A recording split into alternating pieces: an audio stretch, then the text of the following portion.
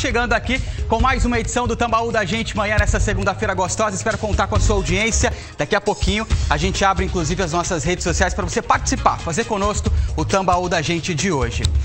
Veja só, em menos de um mês, uma loja de surf que fica na Avenida Dom Pedro II foi arrombada pela segunda vez. Eu chamo a sua atenção para esse caso.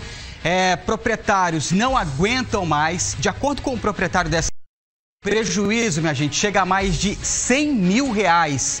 A Dui Borges acompanhou e tem os detalhes. Dui.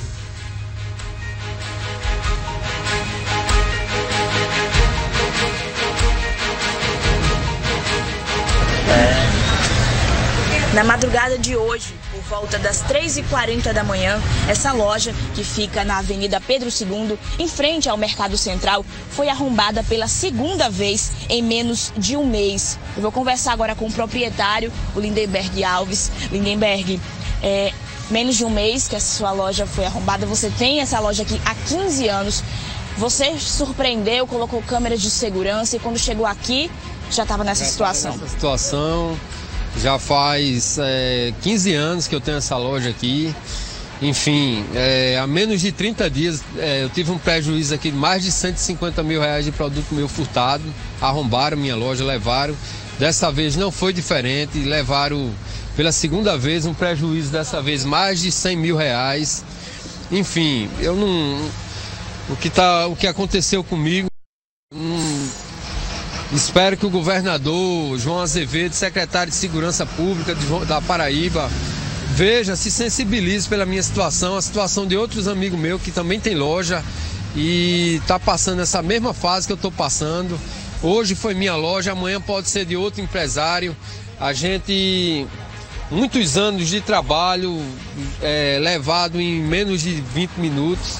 É muito triste, muito triste a situação. E eu espero que realmente o governador João Azevedo, junto com seu secretário de Segurança Pública, é, tome a frente, dê a resposta à sociedade, porque o que aconteceu comigo hoje foi eu, amanhã pode ser outro lojista, pode ser outro empresário, e a gente paga tanto imposto para nada, né? Infelizmente a situação pública da Paraíba é essa. Infelizmente, esse grupo, né, que provavelmente pode ser o mesmo grupo, está, é, está assaltando essas lojas do mesmo estilo de roupa. E você acredita que é realmente essas mesmas pessoas? É a mesma equipe, o mesmo grupo que assaltou a loja de Santa Rita, do amigo meu, o mesmo que assaltou, que arrombou outra loja aqui no centro, um amigo meu também, o que arrombou uma loja chamada Sardinha em Mangabeira também. É a mesma equipe composta de 10 a 12 bandidos que vem aterrorizando a, a, a nossa capital e, e não temos retorno da segurança pública, né? Mais de 100 mil reais em produtos foi levado. Que, é, que de produto que eles levaram hoje? Quase 300 mil reais, somando os dois arrombamentos, 150 mil de, há 20 e poucos dias atrás, mais cento e poucos mil reais de hoje, quase totalizando quase 300 mil reais de prejuízo total. O senhor chegar aqui na sua loja, ver ela assim, nesse estado, toda desarrumada, com os produtos jogados no chão, qual o sentimento? De revolta, né? Porque a gente não tem a quem recorrer. A gente, primeiramente Deus, só Deus para nos dar força, né? E não tem. A gente vai na delegacia, como sempre, faz o BO e nada é resolvido. É, não tem resposta para a sociedade, os bandidos os mesmos de 30 dias atrás que arrombou minha loja, que arrombou várias lojas aqui em João Pessoa, continua solto e nada de resposta da polícia. Enfim, é muito revoltante. A gente tem uma vida de trabalho, eu tenho 15 anos nessa loja e estou passando por uma fase que eu nunca passei na minha vida, nunca pensava em passar.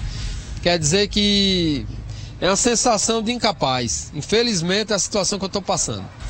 Muito obrigada por falar conosco. É isso, a situação da loja está desse jeito, toda desarrumada, com os produtos jogados no chão. Dessa vez, mais de 100 mil reais em produtos foi levado. E o que o proprietário só deseja, né, na verdade, é que a justiça seja feita, que essas pessoas sejam presas. Do Borges para a TV Tambaú. Doi, muito obrigado pelas suas informações. Você viu aí imagens de realmente um verdadeiro arrastão dentro da empresa. E eles agem rápido. Se você perceber a imagem de circuito de segurança dessa empresa, você vai ver que toda a ação durou ali aproximadamente cinco minutos. Alô, Secretaria de Estado de Segurança Pública, hein? De dia, a gente vê muita polícia na rua. É verdade, basta a gente sair nas ruas da nossa capital, hora ou outra você encontra uma viatura. Agora vem cá, e três horas da madrugada, quando o comerciante está em casa, tentando descansar, cadê o policiamento? Mais uma vez, essa mesma empresa sendo assaltada, sendo furtada dentro de um mês. 300 mil reais em prejuízo. Qual o empresário que vai aguentar segurar as pontas desse jeito? E não é o único, viu? Foram outros casos registrados aqui na região metropolitana de João Pessoa, sempre do mesmo segmento. Ou seja, é uma quadrilha, é um grupo especializado nesse tipo de crime que não deve ficar impune.